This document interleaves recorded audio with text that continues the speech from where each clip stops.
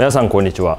改造車ジャーナリスト土パフォーマンスです。今回はボンド大阪から元気に改造した車を紹介したいと思います。紹介してくれるのは大阪店店長浅井さんです。大阪店浅井です。よろしくお願いします。ます今回紹介する車がこちら。ロールスロイス現行のゴーストしかももブラックバッジ。原車を初めて見たかもしれないですね。もちろん納車は始まってますけどそんな多くないですもんね。ですよね。で一応このオーナー様も聞いたらオーダーはかなり早い段階で入れてたのでもう納車されてそしてマンソリーがなんとか間に合ったのでドンと装着させていただいた。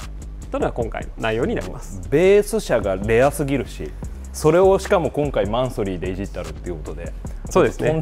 なかなか日本でもそんなに少ないから。前もちろんね現行のゴーストは紹介していると思うんですけれどもあれはまあベース、まあ、ベースでもめちゃめちゃ高いんですけれども今回はブラックバッジの方でコーディネートさせていただきました。なのでちょっと車も特殊なんで、まあ、車の仕様も合わせて、えーちょっと合わせながらご紹介させていただきたいと思います。はいまず車が2トンなんですね。もうこれもオプションみたいですけどね、まあ、ブラックバッジなんでこの辺はね、えーよく言われてるカリナンとかでもよくありますけれどもブラッククロームになっててそしてツートンになってます、これ色絶妙っすね。ね、色綺麗ですね。なんかシルバーと思いきやちょっと紫がかった入った。ガンメタというか。で塗り分けられて。る、はい。これサイドはラインが入ってるんですね。これも塗りですからね。なんか。これあの教えてもらったんですけど、はい。これボディ色じゃないんですよねこのラインが。あそうなの？そうなんですよ。抜いてあるわけでもないしボディ色でライン入れてるわけでもなく新たな別の黒を持ってきてるんですよすごいね。これ原車見ないとわからないですよね。わからないですね。これだからめっちゃ効いてるなと思ってこのツートンとこのラインねが、いいですね。そしてフロント周りはマンフソリーですね。ル交換してあるはい。こっからっすよね全部ね。そうそこから全部ですね。だからここも変わるんですよねそうですよね。ここも変わってるので、まあ、同色だったら別にここ同色すればいいんですけど今回ツートンだったのでこれは純正と同じようにボンネットの色で塗り分けさせていただきました。ここ割と純正に近い形ですよね。そうです。純正の形近いんですけどだから純正一緒かなって一瞬思ったんですけどちゃんとここもついてくるんですよねカーボンで。なんですよね、うんカーボンついてなんでしっかりここもほぼわかんないですけどドライカーボン製になってそうです。はい。で全部バンパー全体もドライカーボン。製ですね、はい、でここにダクトとでダクトの中はこの定番の P200 ですかね。T200 の綾織のカーボンで仕上げてます、そしてこちら側にはこれデイライトでしたっけ？そうデイライト。この2本デイライトが入るタイプ。これ中のこのグリルもちゃんとグロスのブラックなんですよね。ね。それも一緒にペイントしてます。ここしっかりやってある感がかなり出てるんじゃない？か、はい。でこのリップがついてくる。とでここもねちゃんとここもともとクロームなんですけどここもあブラックバッジに合わせてそっかそっかスモークっぽくここも全部やってあるなってます。でもちろんこのオートクルーズコントロールもちゃんと確認済みでちゃんと使えますので純正の機能は損なうことなく交換可能です。でリップもよく見るとこれ5ピースなんですよね。そうなん横のこのあピンとあそういうことね。なんですよ。ここと真ん中とえで全部カーボンの向きが揃ってるんですよね。お本当だ。このサイドのフィンのこのラインも全部揃ってて、ここもちゃんと揃ってて。ほんまやここ揃ってますね。そうなんですよ。綺麗にちゃんとさすが作ってますね。すごいっすよねね。マンソリーでまあもちろんねノーマルでもかっこいいんですけれどもやっぱりマンソリーにしたらしたでやっぱかっこいいですね。そうですね、うん。やっいぱりさが半端ないです、やっぱりロールスシュッとしてて純正でもねいいんですけれども組んだら組んだでやっぱり立体感があってそんなにやらしくない感じでおしゃれに確かに。いい感じでボリュームが出てすごくフィットしてるかなと思います、ね。マンソリー振れ幅すごいですよね。めちゃくちゃ奇抜なのかうんうんらうん。すんごいシンプルなのかな、うん。割とこれシンプルな感じ、まあロールスですからね割とシンプルめに作ってるのかなとはいつも思いますけれどもそして再度こうダクトが追加されてたりう。これはね何種類かあってダクトなしも選べるんですけど、まあ、今回黒だったんで、まあ、ダクトありで選びましたね。でこれなんかちゃんとメッシュのメッシュになってますね。一応これ見ておきますか、あ肝心なのを忘れていました。まあ、これはうちあの関係ないんですが お客様のもうシンボルですよ、ね。シンボルですね。以前これをついた車も紹介ねツッチーとしましたのでそれは想像していただければと思います、いすごいですね。これいろいろ察してくださいって察してくださいこれなんとリアルダイヤモンドということで。これもうちょっとあのいやらしい話。とんでもない金ね、額ですだからもうなんか職人がやりたくねえって言ってたみたいこですね。れリアルダイヤヤモンドってどういうことですかもう、ね、でしかもこうちゃんと掘ってはあ埋め込んでるみたいなんです大変だったみたいですよ。え。ーもう漏れなくこれもこれこれは非売品です。はい。でそういえばこれブラックバッジのエンブレム1個いくらするか逆になるんですよね色が。そう色になるんですけどこれいくらするか知ってます？1個。これ。5万ぐらいですか？8万。マジっすか、まあ部品では出るんですけどね。はカット8万。かける4つあります。マンソリーのプレートとちょっと似た感じですね。そうですね。はい、恐ろしい金額恐ろしい金額です。そして足元やってまいりました、はい。これなかなかまだ日本ではいけないでしょもうぶったまげました。う24インチあの6月にアメリカ行かせていただいたんですけどアメリカのショップが作ってそうな感じじゃないあですかそうですね。ちょうど雰囲気的にも。アメリカの。24入るんですね。入ります。あの先代も一度撮影させていただいたのかな、うん。24、うん。もうでっかいなと思ったんですけどこちらもしっかり入ると。これホイールは？レイジーラグジュアリー、はい。これはツッチーも前の出張ではい。行ったんですよね、工場も行かしせていただきました。どうでした？本当に大きい工場で割とアメリカのホイールメーカーってコンパクトなホームメイドな感じの工場なんかも多いんですけどその中でも HR8 までいかないですけど中規模でやってる感じ、うん。でもうかなりもう設備もいろいろ入ってて、もう整理整頓されてて、うん。かなりこうちゃんとしたというか。はい、でもでこれから伸びていくと。詳しくは言えないんですけどあのいろんな他の仕事もしてるっていうぐらい。でやっぱり外の仕事を取るってことはそれなりの信頼度がないとできないことなんでかなり製品的にも安心感があるかな。とまあ、アメリカのショップとか見てたら、まあ、同じようなデザインが、ね、ありますから、まあ、そこは OEM でやってるんだなと思いますけどやっぱ実際行ってもそのぐらいいっぱい作ってるしすごく OEM としても活躍されてるメーカーですし、まあ、今後日本でもねどんどん伸びていくかなと思います。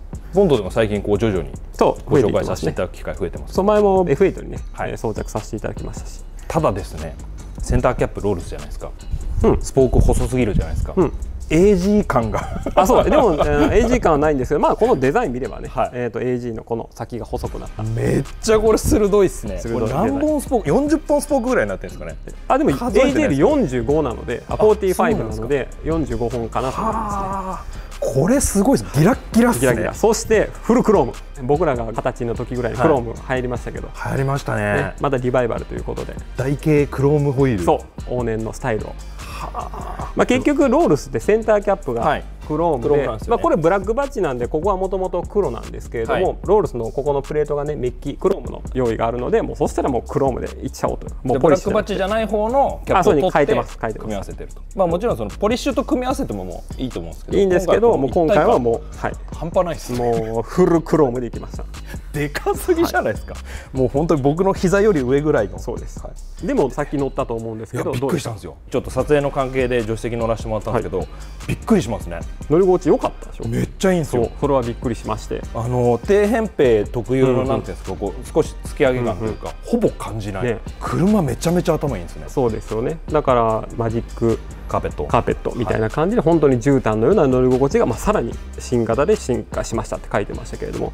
見た目はねもちろん旧モデルとそんなにね変わってないというかあのオーソドックスなモデルチェンジだと思うんですがやっぱ中身は全然違うでオーナー様も言ってたんですけれどもそういう、まあ、ドアの開閉ですとか乗り心地とかやっぱ細かいところあと安全性能だとかそういうところはもうすごくアップデートされているのでやっぱり新型が欲しくなったというような感じで言われてましたもう歴代乗ってこられてる方だとより違いがねより違い分かるが分かると思いますね。もう本当に助手席乗っててもう反応速度が速いのが分かるんですよね、入力あってからなんかこう車を制御するんじゃなくって、もう同時にこう制御されてる感じなんでもう全然24でも乗れちゃうただあのちょっと心配では乗れ そう。だからね本当にちょっと、まあ、ゆっくり乗ってくださいねと。どうしてもガツンとコンビニの入り口入ったりとかするとやっぱりねこれが曲がったりだとか、えー割れてしまう可能性があるのでといってもまあ納車しても1ヶ月以上経ってますけれどもあの意外と普通に乗られてるなっていう印象はありますね。そして今回キャリパーはこれ赤なんですよ。これ新車オーダあーこれもともともともとになっておりこれます。この後紹介しますけれどもこの内装だったりだとともこう色があってるそう。でこの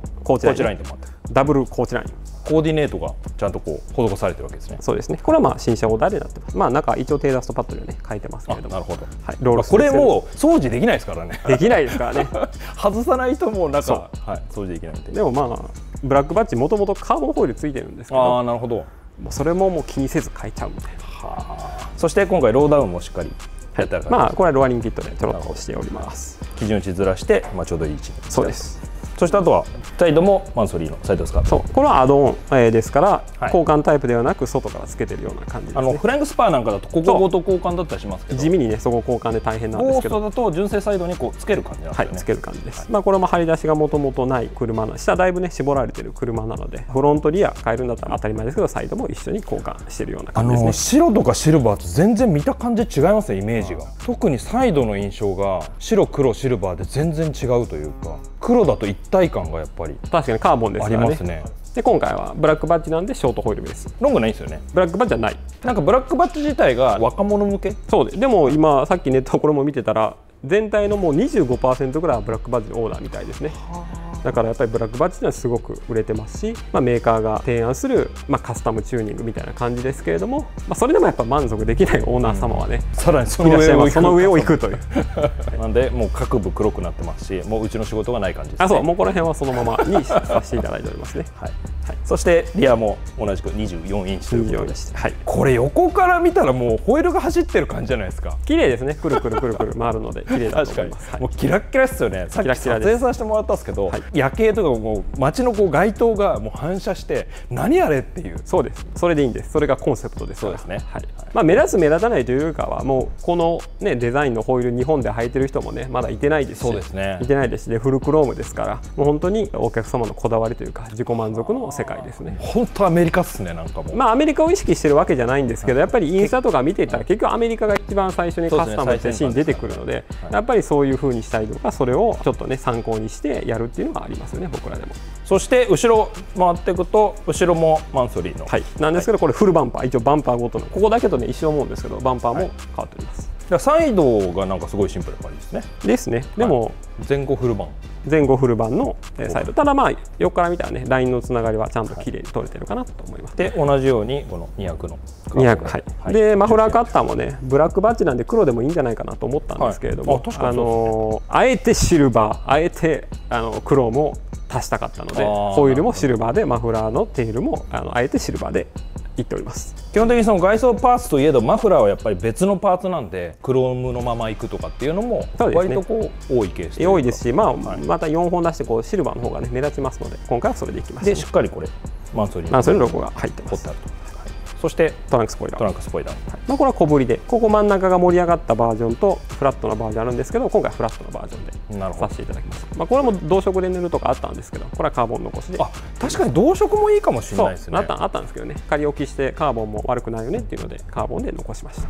これちょっとあのカーボンのグレーな感じとこのツートのこのこっちのグレーな感じと割と近いというか、ん近いのでこれは合わせました。ツートンのラインがここなんで後ろからのリアビューも、うん。もう全然ツートン効いてますね。ね綺麗ですね。だから360度どっから見てもなんかこう隙なくいじってあるというかですね。うわっていう。黒とこの色とシルバー。でまあポイントで赤入れてるの。でそんなにね悪くない組み合わせかなと思います。前から見ても後ろから見てもマンソリーって感じだし横から見たらこのどでかいホイールが。よく見るとね、はい。はい。まあ、なかなかない仕様に仕上がってるのではないかなの車になっておりますじゃあ続いて内装も。内装です、はい、今回特にうちの方でカスタマイズさせていただいたわけではないんですけれども、はい。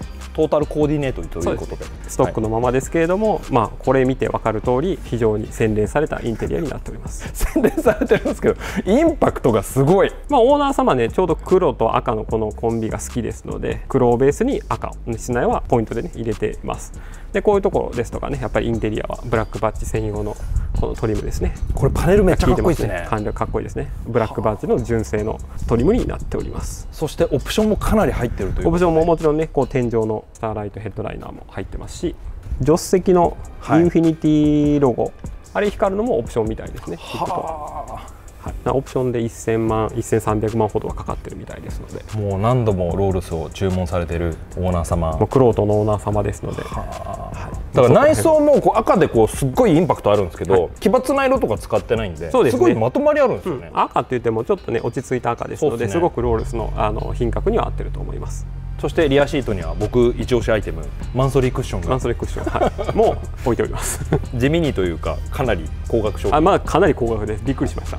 まあ、あの本来そのエアロというかそのカーボン製品の方がまあ主体というか、そうですね。のメーカーですからね。なんでまあそういったものもあの気長に待てる方であればそうです。オーダーすることもできますので、はい。まあ、せっかくこう外装とかまあいろいろやった方であればそんなの積んどいてもはい。気が利いてる感じになるんじゃないかなと、ですね。これすごいなね、これはなかなかいい感じの中もねかっこよくできてるかなと思います。ではツッチー、えー本日のロールスロイスゴーストブラックバッジいかがだったでしょうか？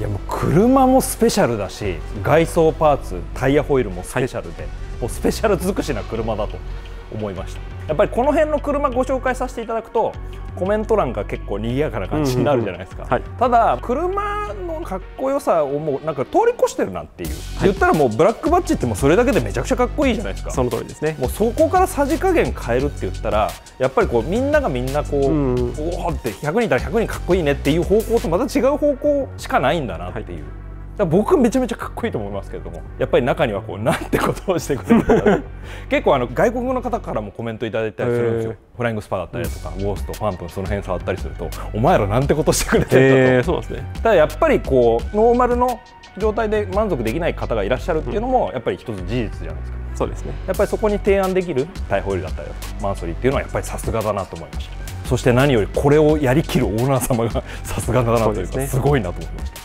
まあ、いつもねオーナー様にはご協力いただいてね本当に今回もすごく気持ちよくあどうぞどうぞ撮影してきてくださいと あの言っていただいたので公開することができました、でさっきズッチーが言ったようにねこれを変えてそしてこんだけカスタムできる人ってもうそもそも限られてるのでかっこよさとかそういうものではなくもうできるかできないかなんですよね。僕らの中ではやっぱり。そういうできるオーナー様がいること自体がすごいいいことですしやっぱりそういうお客様がねいてるからやっぱり僕らも楽しくやっぱり仕事をさせていただいてますしまあ、そういう方がいて本当にこれも1台完成することがまあできたかなと思いますので、まあ、オーナー様には改めて感謝を述べるとともに本当に1台ですね。お客様こだわりの1台ができたので、まあ、今回もね、えー、と満足していただけたのでそれですごく良かったかなと思います。本当そこっすね。そうです。なんかこの車を日本で特にこのボンド大阪で紹介させていただくことができたっていうのがもうす。ごいことなんもうじゃないかなそれ以上ないです。そうですね。だそれ以上ないですね。だって新車で普通そこをするかって僕らでも思いますけれどもそれをやっぱ超えてくるオーナー様がいるっていうこと自体が僕らにとってはすごい幸せですしやっぱりそういうカスタム文化が育っていくっていうのはすごくいいことかなと思いますね。